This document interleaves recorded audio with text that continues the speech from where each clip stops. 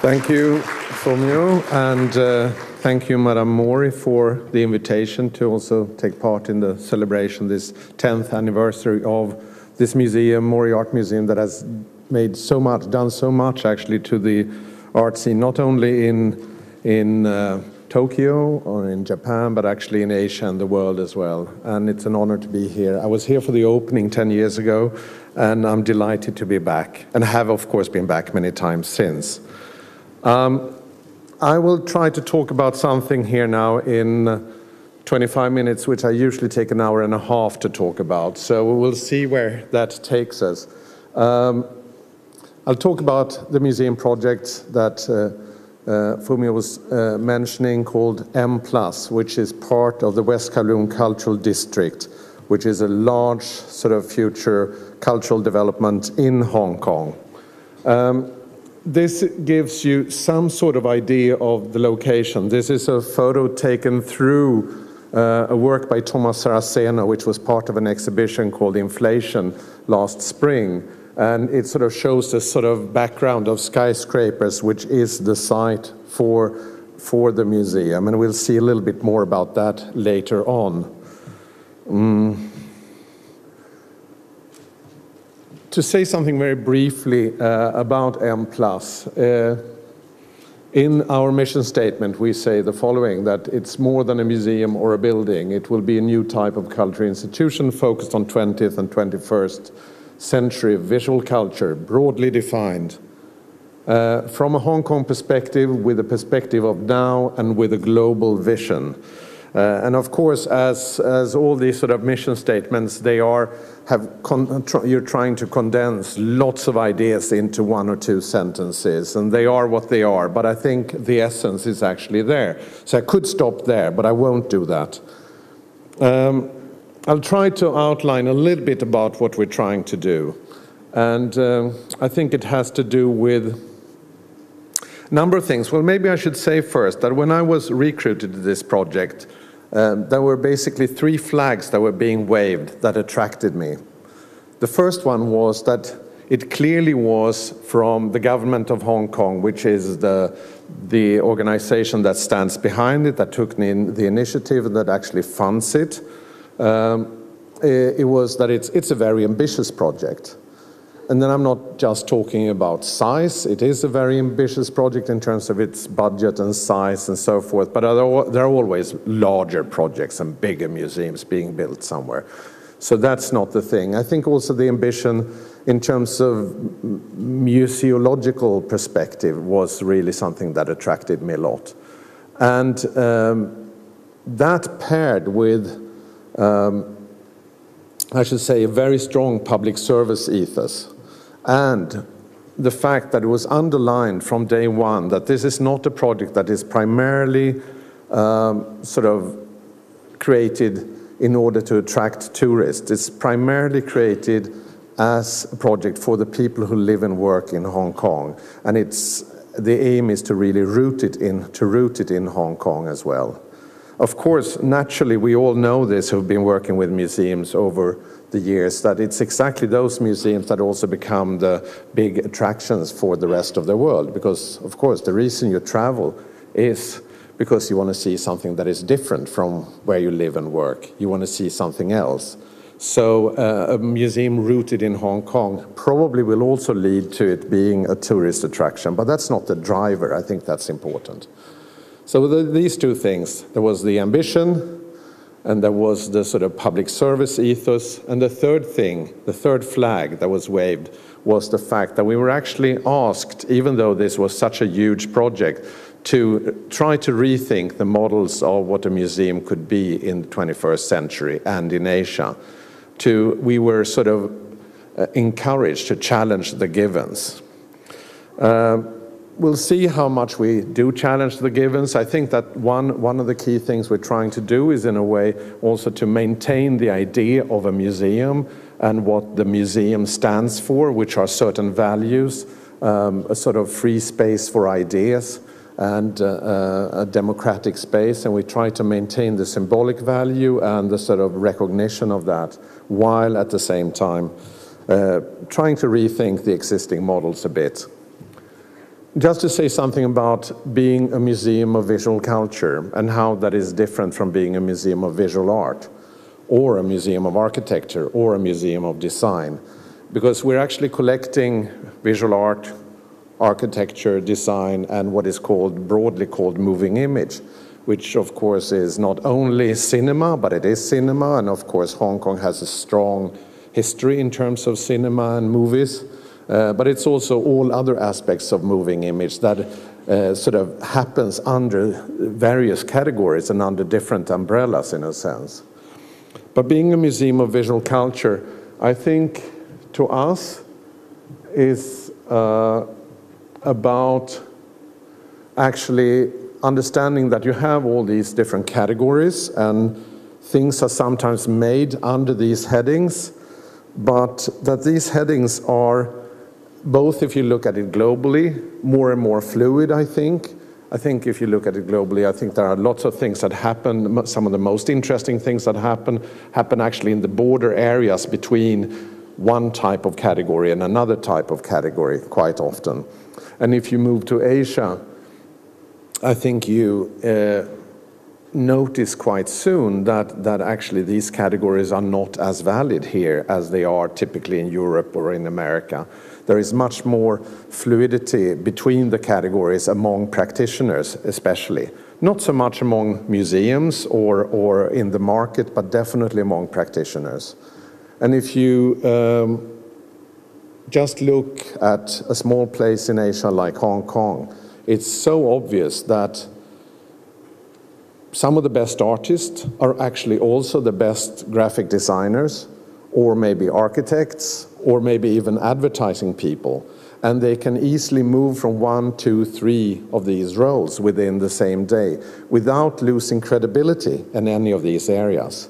And I think that makes them, if you're not Andy Warhol, that makes it totally different from, for, and, and is a totally difference from the situation in Europe, for example, where it's very hard to be trusted as an artist if you have uh, at the same time work in an advertising agency or if you work with graphic design or something like that. That is very hard to achieve, but it's more natural in Hong Kong, you would say. And what we're trying to do is, of course, not just doing what the Museum of Modern Art has done for many, many decades, which is to have departments for these different areas, but actually to try to create a museum that embraces this fluidity, this flow between these categories, and, and look at them in parallel, while of course also recognizing that there are stories that are specific to um, each of these defined categories. You can't escape that at the same time, but, but to maintain that fluidity in the sense of dialogue. And this is, of course, reflected in how we plan the museum building, how we plan the team, and how we collect. And this is, in a way, how we collect at the present. We collect visual culture. We have been, uh, we've gotten the furthest in, in the field of visual art, but in architecture and design, we have moved quite a bit as well. So if that's one thing we're doing, then the question is, what does it mean to have a global vision? Well, I think there are, I mean, among speakers today, for example, the Reina Sofia, and there will be later, say, uh, Tate in, in, uh, in the afternoon. Of course, there are museums with global visions as well. They look, but basically what they do, and what you do always, and what the great museums in the West have been doing is they've always looked at the world from where they are. When you walk around in Tate Modern, for example, you actually you never doubt that you're in London when you see the works. You never doubt that you're in the UK uh, or in Europe, but you're also in the world. And I think um, in, uh, say, four or five years' time, when you hopefully walk around in, in M+, you would see that you're maybe even in West Kowloon. This is the actual site of the future museum. There's a pointer here even. I can tell you exactly where it's going to be built. It is here, basically in this area. And this is a site that is uh, facing Hong Kong Island. So it's on the Victoria Harbour, facing the central part of Hong Kong Island and the sort of jungle of skyscrapers you have there. So you may know that you're in West Kowloon. You'll definitely notice that you're in Hong Kong and that together with the Pearl River Delta and China, will form the core of the collection. There's no doubt about that. And that's not only when it comes to art, but to design, to architecture, and so forth. But we will also, of course, have uh, be uh, hopefully quite rich in our collection and in, and in our exhibition program when it comes to Asia and further afield. So in a way, we do what other museums have been doing in the West, but just shifting the perspective to simplify it a bit.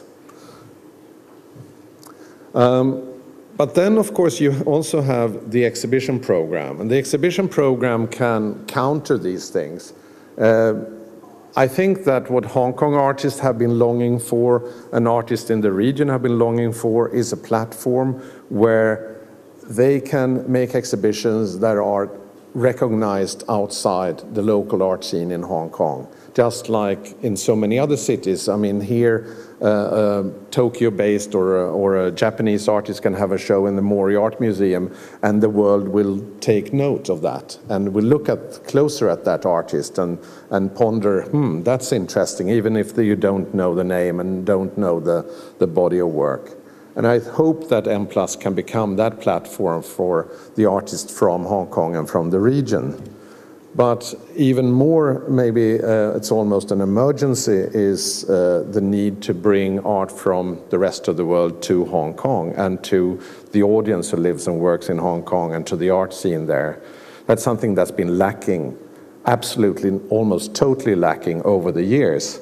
Uh, and that, that's a long story why this is the case, but, but if you compare with performing arts, if you're interested in classic music or in ballet or something like that, you can almost go to a great concert every day with a major performer, conductor or so uh, in Hong Kong. But in terms of arts exhibition, art exhibitions that, and design exhibitions and so forth, that's been a totally different story that is, uh, of course, goes back in time, why that's the case.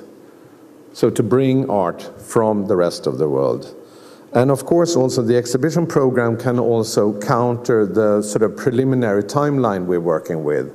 Um, typically we expect that the collection will start, the stories will start around 1949 after the sort of major changes, changes that happen in the region as a result of the creation of, of the People's Republic of China.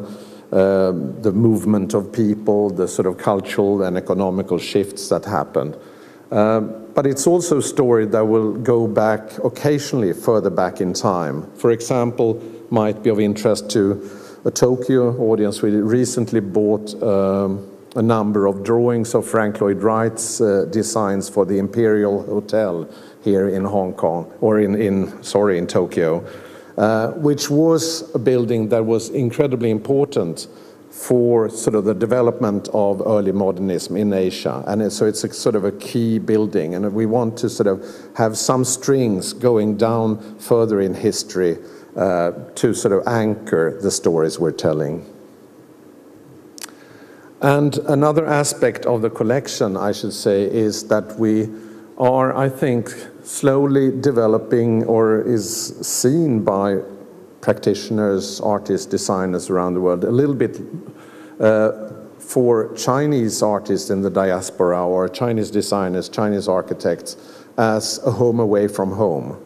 And we've started to collect quite systematically now works by Chinese artists or artists with Chinese background, first, second, third generation, who have maybe a double cultural identity or so, and they are uh, uh, looking for uh, a place where they can find another type of resonance for their work, where the sort of their culture, the, the Chinese side of their cultural background and history can have another type of resonance.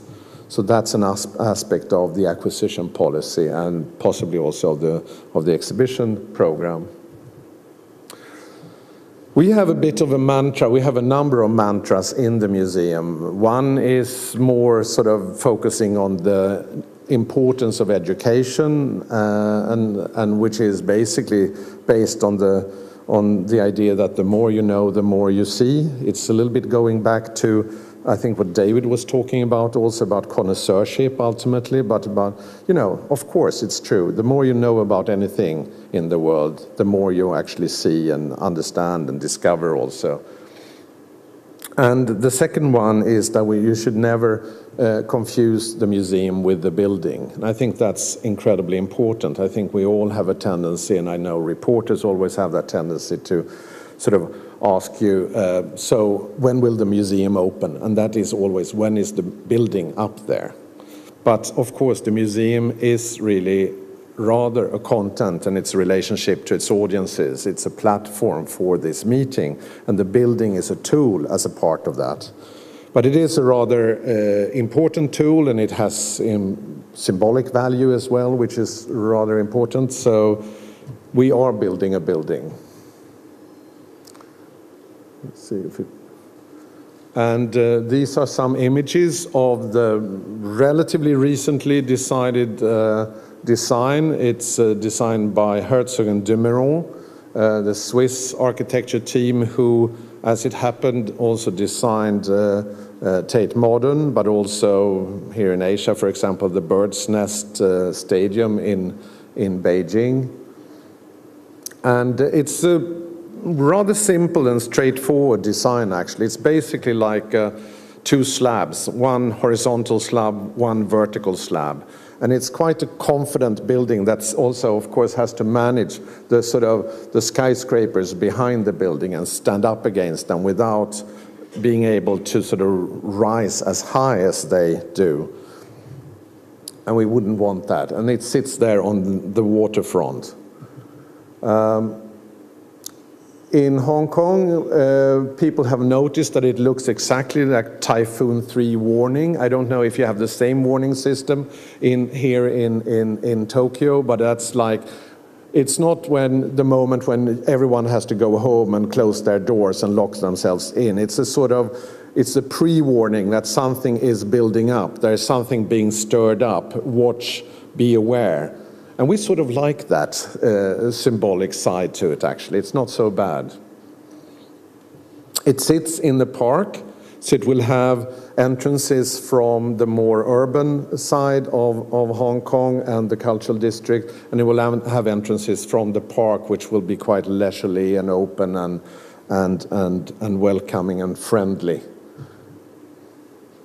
It has, I think, some features that are unique. Uh, it's built on, as uh, Fumio said, it's built on reclaimed land. Uh, and one would think that reclaimed land is a very neutral piece of land, but uh, it's, this is actually a piece of land that is full of tunnels and railway systems and God knows what. So it's like a minefield we're building in. And one of the things that sit under the building on one corner is this structure, which is actually the express train to, to the airport. And typically for I think Herzog and de Meuron's uh, approach, instead of seeing it as many of the other competitors did, seeing it as a huge problem that you had to sort of get away from one way or another, try to cover up, try to build bridges over and or so. They instead did basically what they did at Tate Modern. They saw whatever when everyone else saw the turbine hall in Tate Modern as a big problem that you had to sort of navigate away from they embraced it. And in a way, they've done the same here. They've created a found space, and they excavated the space rather, and gave us a sort of an maybe awkward but also amazing additional exhibition space, which is, of course, shaped by and sort of reflects the, uh, the tunnel structure in a way and makes you aware of the fact that that tunnel is there. Of course, at the same time, you have to isolate it from vibrations and things like that. So that just gives you some sort of idea of the thinking in, uh, about the building. Otherwise, it's, uh, this is far from the final design. This was their exhibition entry, and it's going through now uh, great revisions in terms of design. But it's, it's a building that, of course, will house and have all the functions you typically expect in a museum with the uh, white cubes and black boxes, but also um, what we, and it's really quote unquote industrial space because you can't really you can't simulate industrial space in a new built museum building, but uh, spaces that have are more like almost uh, like black box theater or a theater space or so with gantry cranes in the ceilings, high ceilings, raw materials where you can do things that you typically can't do in, in these museums. And it's a large one. It's about 60,000 square meters, and that gives us about 15,000 square meters of exhibition space. And uh, then, of course, libraries, archives, auditoriums, cinemas, uh, different types of screening rooms, and so forth. I think one of the important things that we're trying to do is to rethink also the modes of presentation, the kind of physical spaces, but also the intellectual spaces that you need for, for a museum that is where it is. I mean, for example, is there a different type of space for the presentation of, of works that are ink art works that maybe uh, actually live their lives on scrolls the traditional way of looking at scrolls, of course, is a much more intimate process uh, where you, uh, and much more collective in a way. You often roll things up together, study it, and, and so you don't look, look at them as paintings on the walls behind glass, for example. Is there another space and another system of looking and are there other, even other digital uh, means that you can help amplify this experience and, and get closer to the original sort of scholarly experience, for example? Are there alternative spaces for viewing and looking at moving image material where you can be more active as a, as a viewer than in the existing sort of projection one-to-one uh, -one type of situation? Uh, are there places where you actually can curate yourself, be active, pair, compare, as you do when you walk around in the painting exhibition, for example? Uh, and are there third spaces that we can explore? Can you break up this barrier between front of house and back of house? Um, can you, I mean, the, the idea of third space, I think, was was developed, uh, or the, the model that was used when sociologists talked about third space was actually the cafe in the TV series Friends. You know, the place that was neither at home or at work, but another space. And in, in, a way, can you sort of break up that barrier between the secret things in the museum and the obvious ones? Um, already museums are working on that, but we try to explore it further. Uh, on the upper left is actually an example from uh, my previous museum at the Moderna Museet, which is like a jukebox for art, actually. It's a sort of robot that brings art to you uh, that you've chosen to look at. And uh, this is an example of, of making uh, conservation processes and so uh, more visible. And of course, as I said, the museum, it's, uh, you shouldn't confuse the museum with the building. And in parallel to building this building, we're actually we're building a digital building, so to say, a digital space, which is equally important almost now, not only in terms of reaching audiences, communicating with audiences, but also because it is a, a platform for production and dissemination of works that are made specifically for digital art or for a digital platform, which is pretty obvious. And again, we're not only in the building, we will be outside the building. So public art will be uh, a central element uh, for us, as well as trying to maintain an exhibition program that just does just not happen within the building, but continues to happen out in the city as we are doing now. We have a quite extensive uh, program called Mobile M Plus that takes place in different parts of Hong Kong, in different types of locations Uh, a few times per year. So that's an important reminder as well to always think about the building as a tool and as a focal point and as a symbol, but it's not the same as the museum. The museum goes beyond all of that. Thank you.